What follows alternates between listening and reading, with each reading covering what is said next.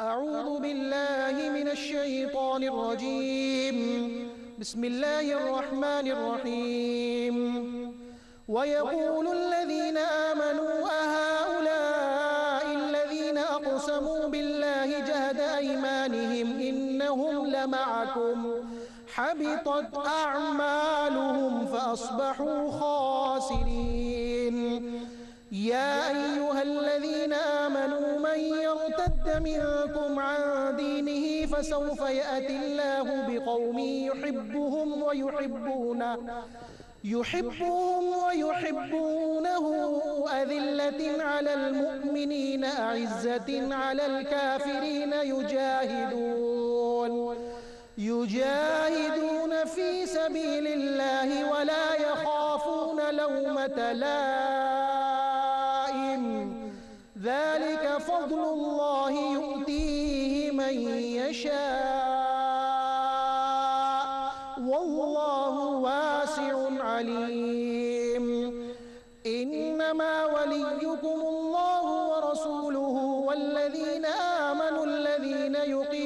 الصلاة. الذين يقيمون الصلاة ويؤتون الزكاة وهم راكعون. ومن يتول الله ورسوله والذين آمنوا فإن حزب الله هم الغالبون. صدق الله العظيم. لله رب العالمين والصلاة والسلام على سيد الأنبياء والمرسلين أما بعد أعوذ بالله من الشيطان الرجيم بسم الله الرحمن الرحيم ويقول الذين آمنوا أهؤلاء الذين أقسموا بالله جهد أيمانهم إنهم لمعكم حبطت أعمالهم فأصبحوا خاسرين صدق الله العظيم اللهم صل على محمد وعلى آل محمد وبارك وسلم. رب اشرح لي صدري ويسر لي أمري واحلل عقدة من لساني يفقه قولي واجعل لي من أهلي آمين يا رب العالمین ناظرین کرام، السلام علیکم ورحمۃ اللہ وبرکاتہ۔ پروگرام بصیرت القرآن میں خوش آمدید۔ الحمدللہ، آج پروگرام نمبر 181 181 آپ کی خدمت میں پیش کر رہے ہیں۔ انشاءاللہ، آج ہم مطالعہ کریں گے سورۃ المائدہ، آیات تریپن تا چھپن کا۔ اور انہی آیات کی تلاوت کے ذریعے الحمدللہ، قاضی سلمان صاحب نے پروگرام کا باقاعدہ آغاز بھی فرما دیا ہے۔ اور روزانہ کی طرح آج بھی ہمارے ساتھ ہمارے نوجوان ساتھی اسٹوڈیوز میں موجود ہیں۔ آئیے انہیں خوش آمدید کہیں۔ السلام علیکم ورحمۃ اللہ وبرکاتہ۔ خیریت سے؟ ماشاء اللہ جی ناظرین کرام ماشاء اللہ ہمارے ساتھی قرآن اکیڈمی کراچی میں تعلیم حاصل کر رہے ہیں۔ قرآن کے ویسے بھی طالب علم ہیں اور ماشاء اللہ ہمارے پروگرام میں آ کر ہمارے پروگرام کو بھی زینت بخشتے ہیں۔ اللہ ان کو جزائے خیر عطا فرمائے۔ سب سے پہلے ہم سب کی ترغیب و تشویق و یاد دہانی کے لیے نبی اکرم صلی اللہ علیہ وسلم کا ایک مبارک فرمان آئیے قرآن سیکھیں۔ فرمان نبوی صلی اللہ علیہ وسلم، کثرت تلاوت کی وجہ سے قرآن کریم کبھی پرانا نہ ہوگا۔ یہ جامع ترمیزی کی روایت ہے۔ کل بھی ذکر کیا تھا پچھلے پروگرام میں۔ ایک طویل خطاب ہے، خطبہ ہے نبی اکرم صلی اللہ علیہ وسلم کا۔ قرآن کی عظمت اور فضیلت پر اس کا بیان جاری۔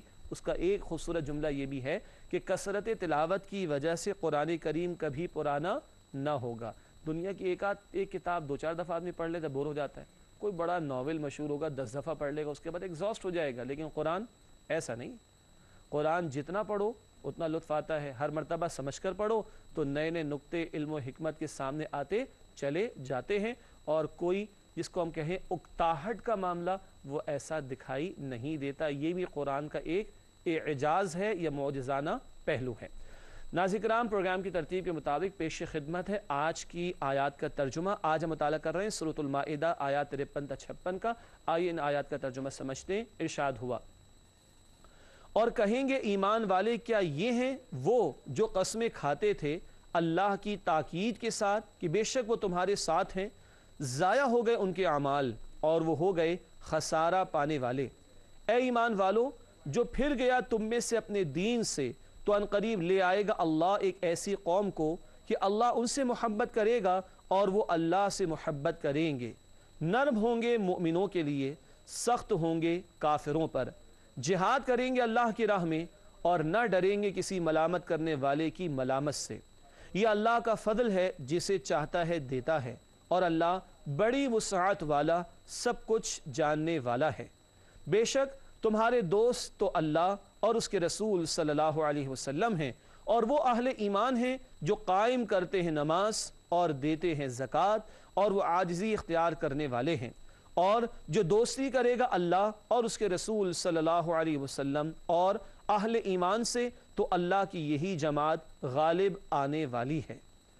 ناظر کرام یہ ترجمہ صورت المائدہ، آیات ترپن تا چھپن کا اب آگے بڑھتے ہیں اور ربط آیات کو سمجھتے ہیں۔ یعنی پچھلی آیات اور آج کی زیر مطالعہ آیات کا باہمی تعلق ربط آیات میں سب سے پہلا نقطہ لکھا ہے۔ گزشتہ آیت میں منافقین کے منصوبوں کی ناکامی کا بیان تھا۔ منافقین کا ذکر آیا تھا۔ وہ چاہتے ہیں کہ مسلمانوں کو نقصان پہنچے اور اللہ نے بتایا کہ نہیں، مسلمانوں کو کامیابی ملے گی اور ان کی ناک کٹ جائے گی۔ یہ ذکر تھا پچھلی آیت میں۔ گزشتہ آیت میں منافقین کے منصوبوں کی ناکامی کا بیان تھا۔ اب یعنی آج جو مطالعہ کر رہے ہیں اب منافقین کے دنیا و آخرت میں انجام کا بیان ہے۔ دنیا میں رسوائی اور آخرت میں شدید ترین عذاب میں ان کو گرفتار کیا جائے گا۔ یہ ذکر آئے گا آج کی نشست میں انشاءاللہ تعالی۔ ناظرام اس کے بعد چلتے ہیں تعارف کی طرف۔ یعنی جن باتوں کو ہم تفصیل سے سمجھیں گے انشاءاللہ آگے۔ تشریح میں ان کو مختصراً سمجھتے ہیں پہلے تعارف کے ذیل میں۔ تین باتیں تعارف کے ذیل میں اسکرین پر آپ کے سامنے موجود ہیں، لکھا ہے، منافقین دنیا اور آخرت میں نقصان اٹھانے والوں میں سے ہیں۔ یعنی دنیا پرست لوگ ہیں۔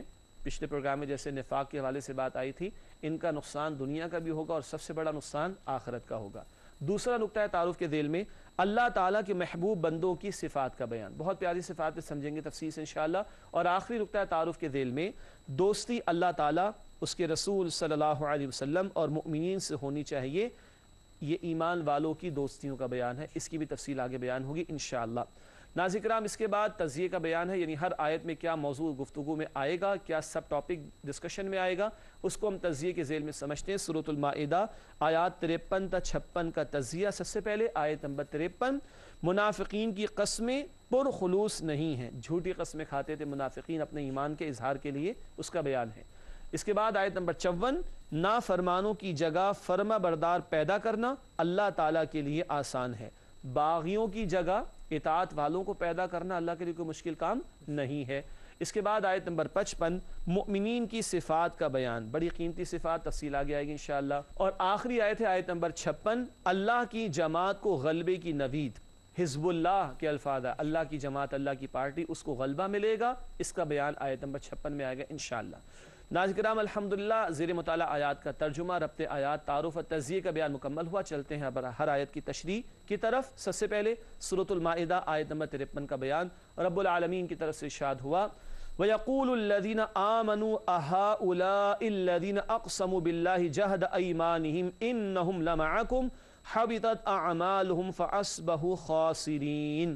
المائدہ، آیت نمبر ترپن ہے۔ آئیے اس کا ترجمہ کرتے ارشاد ہوا اور کہیں گے ایمان والے کیا یہ ہیں وہ جو قسمیں کھاتے تھے اللہ کی تاکید کے ساتھ کہ بے شک وہ تمہارے ساتھ ہیں؟ ضائع ہو گئے ان کے اعمال اور وہ ہو گئے خسارہ پانے والے۔ ناظر کرام، یہ ہوا ترجمہ صورت المائدہ آیت نمبر ترپن کا۔ اب آئیے اس آیت کی تشریح کی طرف چلتے ہیں۔ سب سے پہلا نقطہ اس آیت کی تشریح میں ہمارے سامنے ہے۔ منافقین کا اہل ایمان کو ان کے خیر خواہ ہونے کی قسمیں کھا کھا کر یقین دلانے کا بیان۔ کیا مطلب؟ جیسے میں نے ذکر کیا تھا پچھلے پروگرام میں، یہ منافقین کون تھے؟ کہ جب دنیا کی محبت میں غرق ہوئے تو دین سے پیچھے ہٹنا شروع ہو گیا۔ مگر کلمہ تو پڑھ رکھا تھا۔ تو یہ قسمیں کھا کھا کر اپنے ایمان کا اظہار کرتے تھے مسلمانوں کے سامنے۔ کبھی اللہ کی راہ میں انفاق کا موقع یا مال خرچ نہیں کرتے، اللہ کی قسم میرا تو کاروباری بیٹھ گیا، استغفر اللہ۔ کبھی اللہ کی راہ میں قتال کے لیے نکلنا ہے، کیوں نہیں آ رہے؟ ہو جی میری بیوی کی طبیعت خراب ہوگی میرے بیٹے کی ٹانگ ٹوٹ گئی۔ جھوٹے بہانے بناتے اور پھر ان میں وزن پیدا کرنے کے لیے جھوٹی قسمیں کھا کر اپنے ایمان کا یقین دلانے کی کوشش کرتے تھے، یہ اس بات کا ذکر ہو رہا ہے۔ اگلا نقطہ تشریح میں لکھا گیا ہے، منافق دنیا اور آخرت دونوں جگہ نقصان اٹھانے والے ہوں گے۔ دنیا کا نقصان کیا ہے اور آخرت کا؟ آگے سمجھتے ہیں، لکھا ہے، دنیا کا خسارہ جن لوگوں سے ان کی دوستی تھی وہ کام نہ آئی اور اہل ایمان کامیاب ہو گئے۔ یہود سے بنا کر بڑی باتیں رکھی، کفار سے باتیں بنا کر رکھی، مگر کفار کو اللہ نے مغلوب کر دیا، ایمان والوں کو اللہ نے غلبہ دے دیا، ان کی ساری چالیں ناکام، یہ دنیا کا خسارہ ہو گیا۔ ٹھیک ہے؟ بلکہ مسلمانوں کے خلاف کفار کی مدد بھی کرتے رہے، مگر مال بھی لگ گیا، جان بھی کھپ گئی، مسلمانوں کو پھر بھی اللہ نے فتح عطا فرما دی۔ یہ ان منافقین کا دنیا کا خسارہ ہوا۔ آخرت کا خسارہ، دنیا میں مسلمانوں سے غداری اور نفاق کے عوض، دائمی عذاب میں مبتلا ہوں گے، کل جہنم ہی ان کا ٹھکانہ ہوگی۔ اور قرآن کہتا ہے سورہ نساء آیت نمبر ایک سو پینتالیس میں ہم پڑھ چکے ان المنافقین فی الدرک الاسفلی من النار منافقین جہنم کے سب سے نچلے گڑھے میں ہوں گے۔ اللہ تعالی ہم سب کو جہنم کی آگ کے عذاب سے محفوظ رکھے۔ ناظر کرام اس کے بعد سورة المائدہ آیت نمبر چون ہے۔ آئیے اس کا مطالعہ شروع کریں۔ رب العالمین کی طرف سے اشاد ہوا۔ یا ایوہ الذین آمنوا من یرتد منکم عن دینہ فسوف یأتی اللہ بقوم یحبهم ویحبونہ اذلت علی المؤمنین اعزت علی الكافرین یجاہدون فی سبیل اللہ ولا یخافون لومت لائم ذلك فضل اللہ یؤتیہ من یشاء واللہ واسع علیم سورة المائدہ آیت نمبر چون آئیے اس کا ترجمہ کریں بہت قیمتی مقام قرآن کا ارشاد ہوا اے ایمان والو، جو پھر گیا تم میں سے اپنے دین سے، تو ان قریب لے آئے گا اللہ ایک ایسی قوم کو کہ اللہ ان سے محبت کرے گا اور وہ اللہ سے محبت کریں گے۔ نرم ہوں گے مؤمنوں کے لیے، سخت ہوں گے کافروں پر۔ جہاد کریں گے اللہ کی راہ میں اور نہ ڈریں گے کسی ملامت کرنے والے کی ملامت سے۔ یہ اللہ کا فضل ہے، جسے چاہتا ہے دیتا ہے اور اللہ بڑی وسعت والا، سب کچھ جاننے والا ہے۔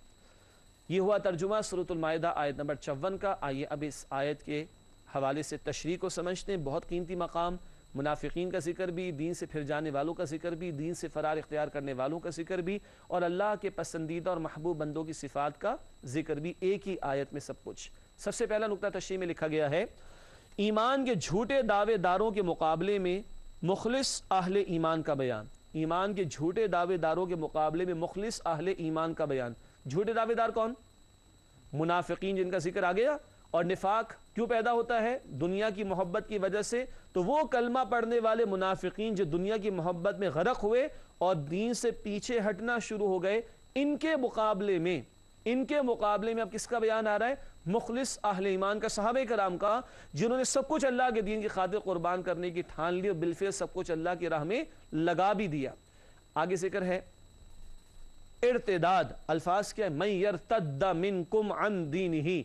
جو تم میں سے دین سے پھر جائے مرتد پھر جانے والے کو کہتے ہیں ارتداد کا لفظ ذرا مشکل ہے دوبارہ اس کرتا ہوں۔ ارتداد اس کے معنی کیا ہے جس سے لفظ مرتد بنا لکھا ہے دین سے پھر جانا دین سے نکل جانا دین سے پھر جانا اسے کہتے ہیں ارتداد۔ کیا کہتے ہیں؟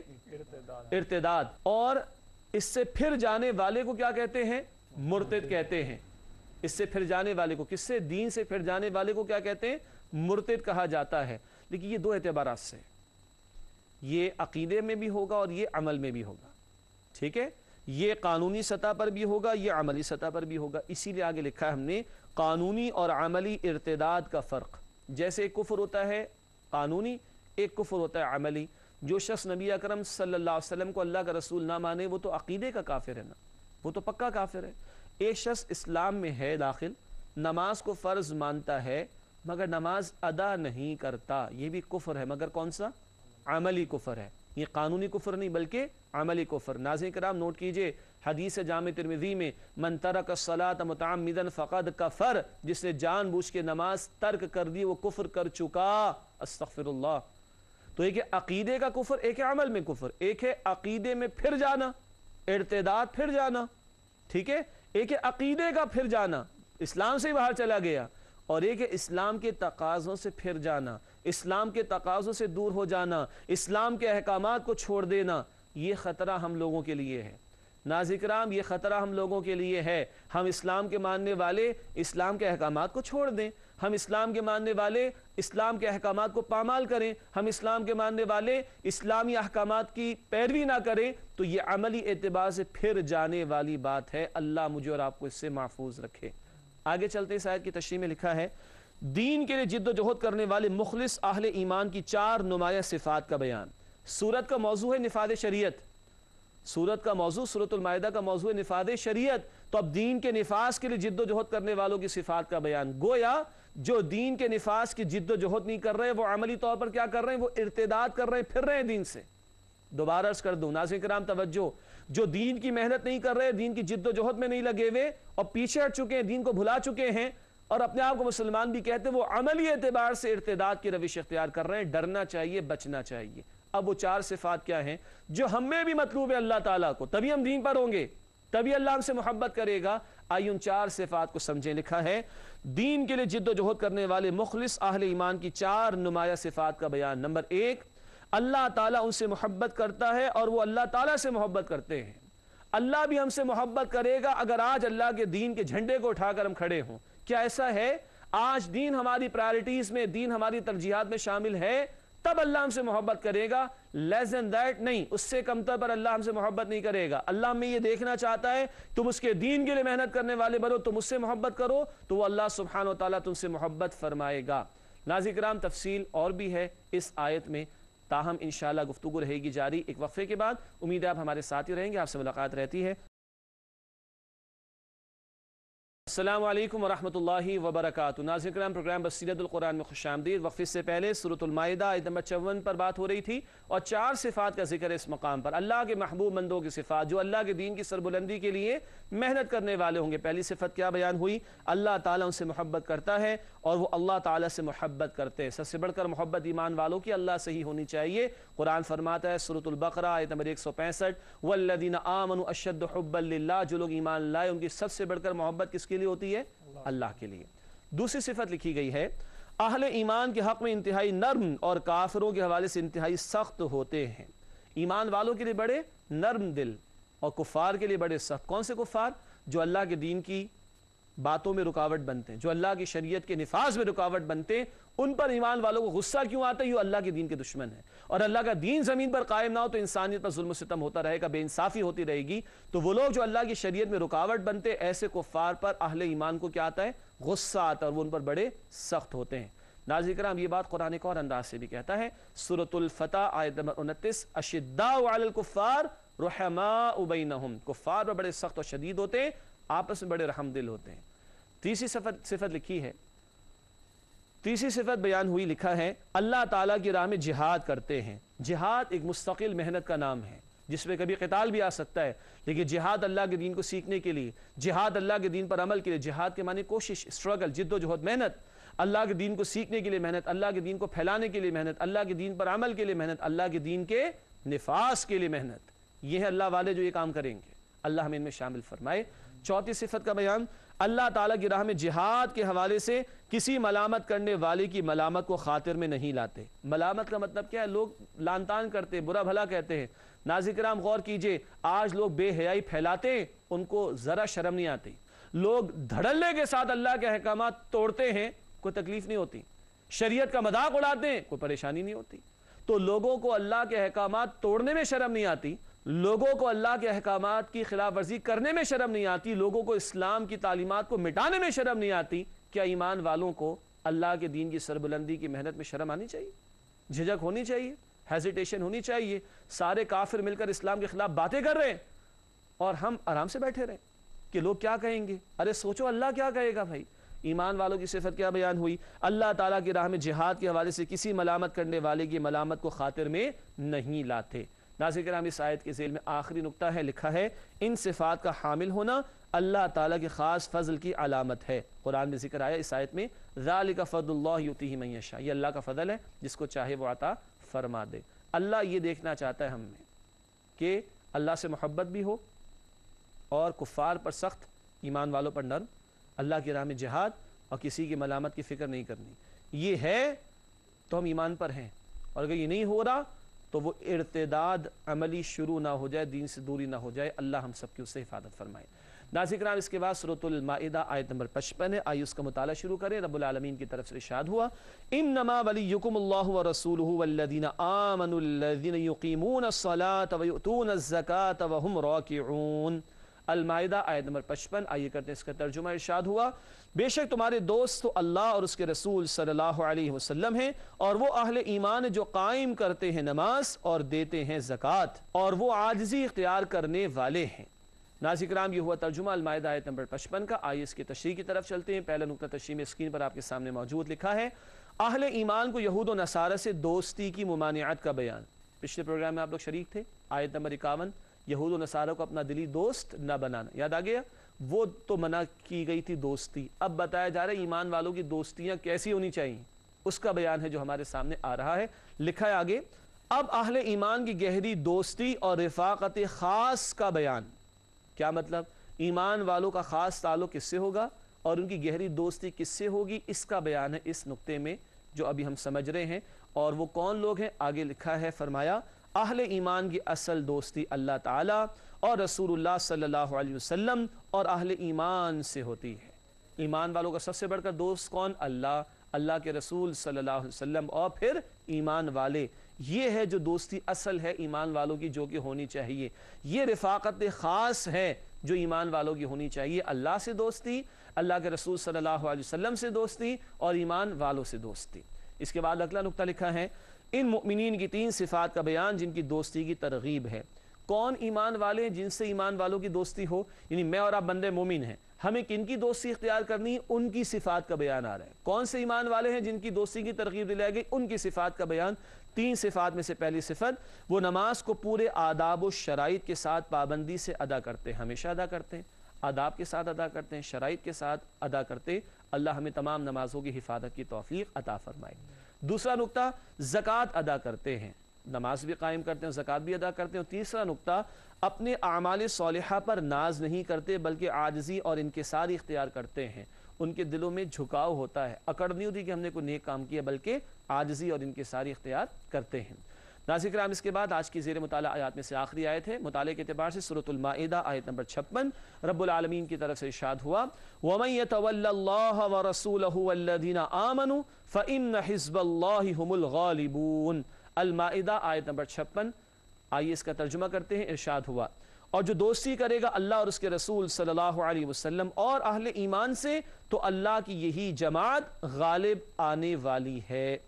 ناظر کرام، یہ ہوا ترجمہ المائدہ آیت نمبر چھپن کا۔ آئیے اس آیت کی تشریح کی طرف چلتے ہیں۔ پہلا نقطہ تشریح میں آپ کے سامنے اسکرین پر موجود۔ اللہ تعالی رسول اللہ صلی اللہ علیہ وسلم اور با عمل اہل ایمان کو ہی اپنا حامی اور دوست بنانے والوں کو اللہ کی جماعت یعنی حزب اللہ کہا گیا۔ جملہ بہت طویل ہو گیا نا۔ دوبارہ پڑھ دیتے ہیں۔ ٹھیک ہے؟ تاکہ واضح ہو جائے۔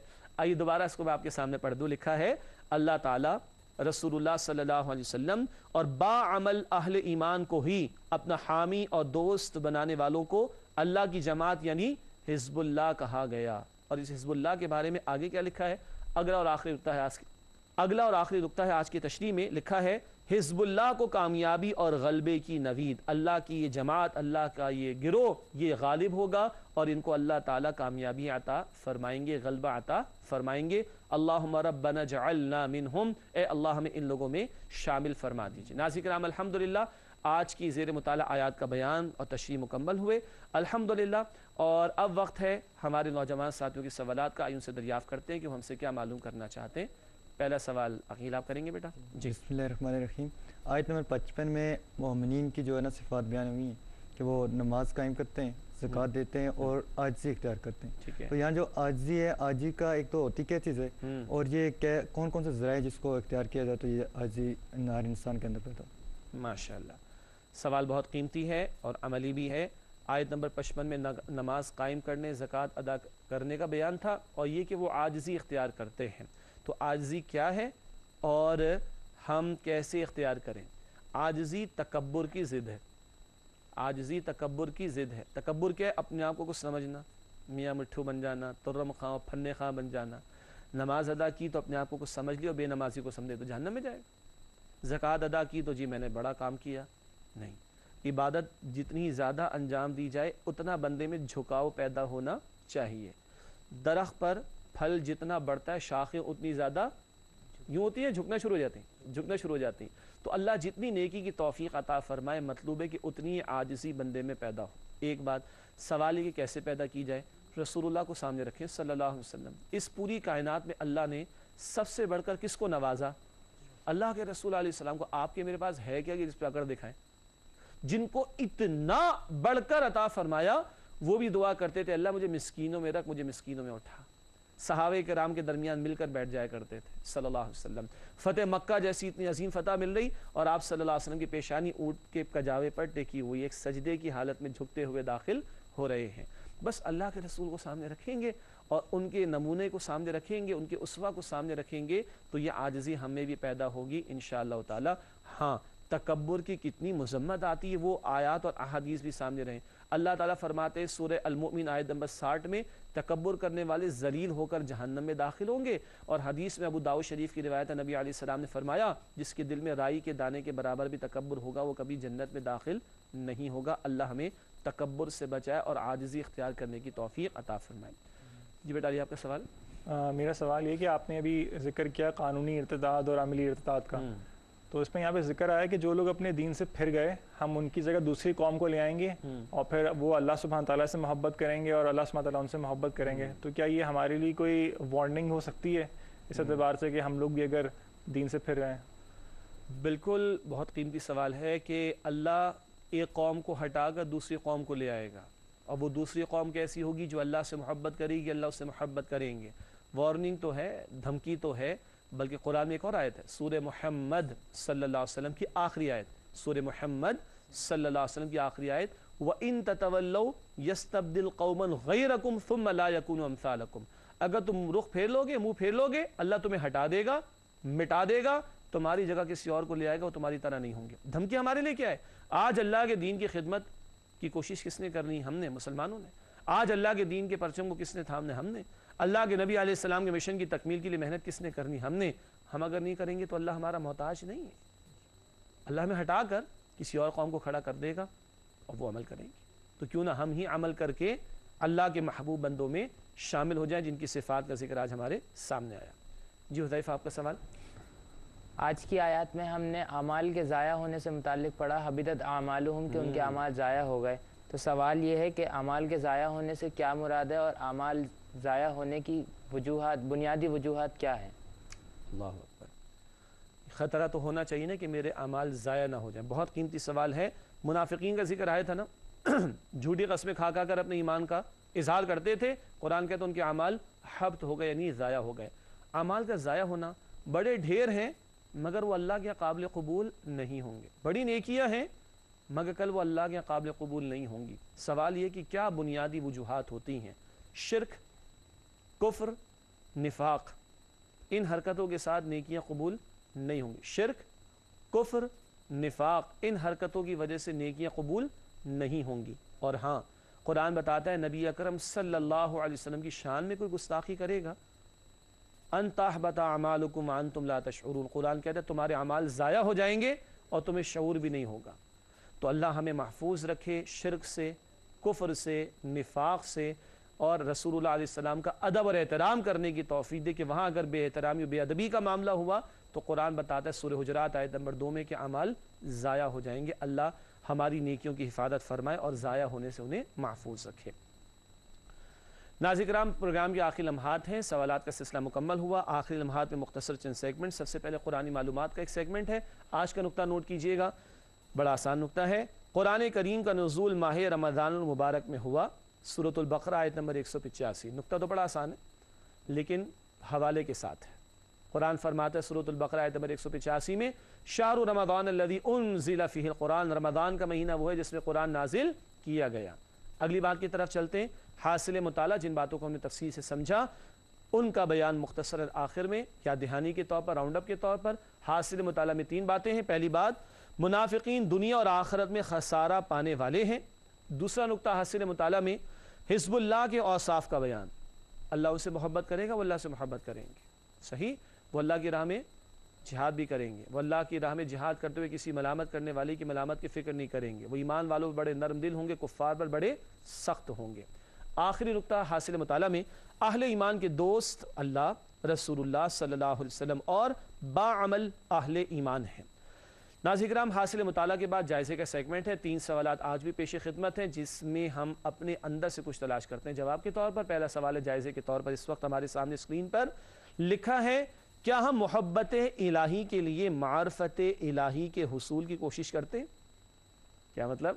اللہ کی محبت کب آئے گی؟ جب اللہ کا تعارف ہمیں حاصل ہوگا۔ اللہ کی معرفت ہمیں حاصل ہوگی، اللہ کی پہچان۔ اس کائنات میں غور و فکر کرنا، اللہ کی نعمتوں پر غور و فکر کرنا، اس سے اللہ کی معرفت ملے گی تو اللہ کی محبت میں اضافہ ہوگا انشاءاللہ۔ دوسرا سوال جائزے کے طور پر، کیا ہماری قلبی دوستی ایمان والوں کے ساتھ ہی ہے؟ کس سے منع کیا گیا ہے؟ یہود و نصارہ سے۔ تو سوال ہے کہ کیا ہماری قلبی دوستیاں ایمان والوں ہی کے ساتھ ہیں؟ غور کرنا چاہیے۔ آخری سوال جائزے کے طور پر ہے، کیا ہم اللہ کے پسندیدہ بندوں کے حالات سے سبق حاصل کرتے ہیں؟ اللہ پچھلے اہل ایمان کا ذکر کر رہا ہے، ایمان والوں کی صفات کا بیان کر رہا ہے، ان کو سامنے رکھ کر ہم اپنے معاملات کو درست کرتے ہیں یا نہیں، یہ قرآن کا جسٹ ہے، یہ قرآن کا حاصل ہے، کیونکہ یہ کتابیں ہدایت، گزشتہ ادوار کا ذکر، ماضی کا ذکر، ماضی کے افراد کا ذکر قرآن کرتے تو ہماری سبق آموزی کے لیے۔ ناظر کرام آخری دو باتیں شامل کرتے ہیں پروگرام میں، گزشتہ سوال کا جواب۔ پچھلے پروگرام میں ہم نے سوال آپ کے سامنے رکھا تھا۔ اے ایمان والو، تم پر روزہ رکھنا فرض کیا گیا ہے۔ یہ بات کی سائد میں بیان کی گئی۔ سروت البقرہ کا حوالہ آپ کو دیا گیا تھا تلاش کرنے کے لیے۔ امید آپ نے تلاش کیا ہوگا۔ سروت البقرہ آیت نمبر ایک سو تیراسی ون ایٹی تھری کتب علیکم السیام کما کتب علی الذین من قبلکم۔ اے ایمان والو، تم پر روزہ رکھنا فرض کیا گیا، جیسے تم سے پچھلے لوگوں پر بھی فرض کیا گیا تھا۔ لعلکم تتقون، تاکہ تم میں تقوی پیدا ہو جائے۔ آج کا سوال نوٹ کیجیے گا، آج کا سوال بھی اے ایمان والو ہی کے الفاظ سے ہے۔ اے ایمان والو اسلام میں پورے کے پورے داخل ہو جاؤ اور شیطان کے نقش قدم پر نہ چلو۔ یہ بات کی سائد میں بیان کی گئی ہے۔ اے ایمان والو اسلام میں پورے کے پورے داخل ہو جاؤ اور شیطان کے نقش قدم پر نہ چلو۔ یہ بات کی سائد میں بیان کی گئی ہے۔ اس کا حوالہ صورت البقرہ ہی میں ملے گا اور صورت البقرہ میں آسان کر لیتے ہیں۔ دو سو آیات کے بعد دیکھیے گا، بہت جلدی سے مل جائے گا۔ اگلے پروگرام میں اس کا جواب آپ کی خدمت میں پیش کریں گے۔ ناظر کرام، اسی کے ساتھ ہمارے پروگرام کا وہ مکمل ہوا۔ ہمارے نوجوان ساتھیوں کو بھی دعا میں یاد رکھیے گا۔ ہماری پوری ٹیم کو، ہمارے قاری صاحب کو اور مجھے بھی اپنی دعا میں یاد رکھیے۔ اللہ ہم سب کو اپنے کلام مبین سے، ہمارے تعلق کو مزید مضبوط کرنے کی توفیق عطا فرمائے۔ آمین یا رب العالمین۔ وآخر دعوانا ان الحمد للہ رب العالمین۔ والسلام علیکم ورحمۃ اللہ وبرکاتہ۔ اللہ کا کلام پڑھایا رسول نے اصحاب بار صفا کو لکھایا